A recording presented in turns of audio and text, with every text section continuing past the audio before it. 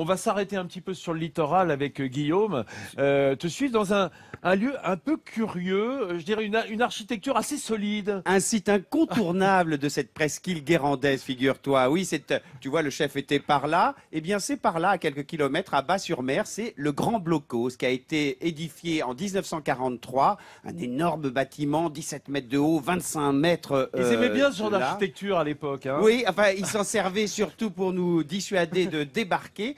Après-guerre, ça a été euh, abandonné, squatté. Et puis, il y a deux frères, Luc et Marc Brouwer, qui sont venus. Ils ont racheté ce blocos. Ils l'ont restauré il y a maintenant 20 ans. Ils l'ont transformé en un musée. Plus d'un demi-million de visiteurs, 650 000 exactement. Eh bien, c'est peut-être vous les prochains visiteurs. Regardez. Le Grand Blocos de Bas-sur-Mer est l'un des plus imposants de la côte atlantique. Vestige de la Seconde Guerre mondiale, il abrite aujourd'hui un musée tenu par Marc et Luc, des passionnés d'histoire tombés amoureux du site en 1994. On a découvert le, le blocos sur une photo à Paris et ça a été un petit peu le coup de foudre. On s'est dit mais c'est incroyable que ce blocos il soit vide, qu'il soit abandonné euh, tant d'années après la guerre et que personne ne raconte l'histoire de la région de Saint-Nazaire. À 21 et 23 ans, et contre l'avis de leurs proches, les deux frères plaquent tout pour ce blocos. Pendant trois ans, ils restaurent l'édifice et investissent toutes leurs économies dans les travaux. Voilà la salle de l'intérieur qu'on va voir. L'accueil. Beaucoup, beaucoup d'imagination. Parce que quand on est rentré et qu'on a vu un truc en ruine, il fallait quand même beaucoup d'imagination pour se projeter dans ce que serait un futur musée. Mm. Et euh, je précise qu'on a fait tout sur nos fonds perso. Mm. C'est-à-dire qu'on n'a pas eu d'aide, pas de subvention, rien du tout. Donc on a mis nos économies, Mm. un emprunt familial. Et euh, c'est pour ça qu'on a bossé dedans à faire tous les travaux, parce que c'était la seule façon de faire tomber la facture. Et leurs efforts seront récompensés, car désormais le bunker abrite une très vaste collection d'objets historiques. Un fonds qui s'est progressivement enrichi grâce à la générosité d'anciens combattants. Notre collection de départ a été enrichie en fait par des objets locaux que des gens nous ont apportés. Alors ça pouvait être des civils ou des militaires de tout pays qui sont, qui sont venus nous apporter des objets parce qu'ils disaient bah là au moins ça a un sens, c'est vu du public, c'est partagé. Et là par exemple on a une collection vraiment incroyable d'objets euh, britanniques qui ont été ramassés à Saint-Nazaire après l'attaque des commandos anglais. Mais la richesse de ce musée, c'est la présence quotidienne de Maurice, un ancien combattant qui a participé à la libération de la poche de Saint-Nazaire. 21 ans. Là, l'escorte de général de Gaulle. Chaque jour, Maurice arpente les pièces du musée et partage ses souvenirs avec les visiteurs. Canon de 240. C'est mon médicament, moi, de venir ici. C'est pour ça qu'on me dit, vous êtes conservé. C'est mon médicament, de venir tous les jours voir des gens euh, discuter. euh. Et pour Marc, parler avec Maurice dans son musée chaque jour, c'est comme dialoguer directement avec l'histoire. Il raconte son expérience sur, le, sur le, euh, la libération de la Baule ou les bombardements à Nantes qu'il a vécu. Et, et les gens sont très touchés d'avoir un vétéran de la Seconde Guerre mondiale en direct. Ils disent Oh, incroyable Avec près de 40 000 visiteurs chaque année, Luc et Marc voient leurs efforts récompensés et prouvent que cette histoire-là ne risque pas de tomber dans l'oubli. Alors, regarde, il est tout de même extraordinaire, euh, euh, ce monsieur Moreau.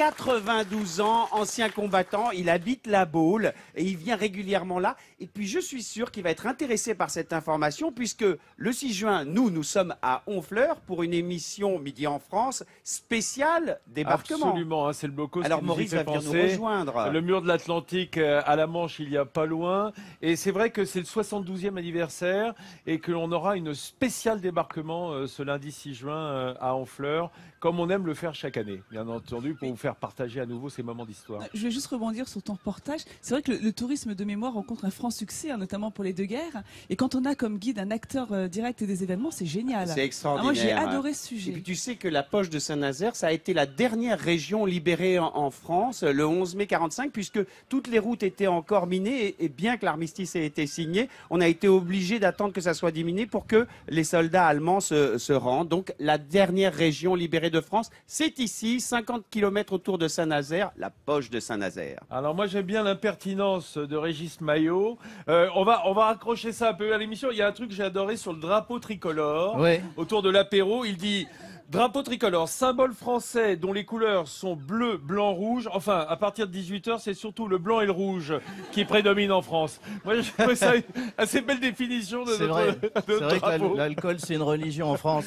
D'ailleurs, moi qui ai, qui ai vécu dans cette région très très longtemps, on aime bien boire un peu. Et à mon avis, si Jésus avait fait son dernier repas au croisic, Judas, elle aurait été trop bourré pour aller cafeter à Ponce Pilate hein, quand même. Bravo Régis. Oui, oui, c'est vrai. Tout ça se trouve dans la reprise des hostilités, comme si elles n'avaient jamais cessé. hein. Euh, absolument. Alors, euh, Régis, euh, toi, tu es vraiment de la région, on l'a Ouais. dit. hein, pas- tu es nantais, euh, donc euh, voilà, de, de- de jeunesse. De jeunesse, on oui, oui. Et euh, par exemple, euh, bas sur bas, bas sur mer, tu connais hein Oui, oui, oui. Hein, C'est vraiment c'est ton coin. C'était mon coin, c'était qu'on a la. quelques images Ah, toi de euh, cette carte postale qu'on aime bien offrir à nos invités. Voilà, là c'était ma maison. Uniquement les toilettes au Là, fond du jardin. voilà, là ma terrasse, on était bien. Là j'ai j'ai mon père là qui me dit viens manger. Alors là on est dans le centre de, de, de Bâle, oui, qui était un, un- un petit village méridional où il y avait vraiment cette, cette architecture. Et là on se retrouve directement sur, sur, sur les côtes. Ce qui est formidable à, à Bas-sur-Mer, euh, j'espère qu'on va voir ces images, c'est c'est cette petite côte dé- découpée. On est Ah bah, il y a la plage Saint-Michel, on m'a La- dit que tu y as Ah. montré tes premières fesses. oui, la place Saint-Michel, parce qu'il fallait être courageux pour faire du nudisme à l'époque. Non, c'est C'est une, c'est une, une petite, euh, c'est ancré euh, avec cette, cette, euh, digue qui, euh, qui, vous protège de la, mer. Et la, mer ici est formidable euh, aussi, et surtout euh, l'hiver, parce qu'on a les, on a les tempêtes, on a ce, soleil d'hiver, on a ce vent euh, qui euh, a décorné des bœufs, comme disait Brel. Et, euh, et- et c'est des souvenirs de balade quand on habite Nantes. euh, euh, le, le, le petit tour du week-end, c'est c'est souvent bas sur mer et bas sur mer, ça continue et on arrive euh, jusqu'au jusqu'au Croisic où on peut se délecter d'une petite crêpe. par Régis, exemple. tu préférais tout ça à la boule Oui, oui, oui. euh, bah, la, la Baule, c'était, c'était la, la grande ville, la grande ville euh, bourgeoise, etc. Avec euh, ce côté, avec ces, ces grands, ces grands immeubles, un petit peu, on se croirait à Miami. Et là, il y a un, là, un côté plus bretonnant, plus, euh, plus vivifiant, plus marin. Et ce côté euh, océanique euh, me, me, me manque. C'est ma petite Madeleine de Proust aujourd'hui. Hein. Bah absolument. Faut que j'arrête. Je suis, trop, je suis trop tendre. Non, non, non, non, Je suis- mais. Non, non, il, faut, il vaut mieux te pousser dans cette voie-là parce qu'on sait que tu la dent dure.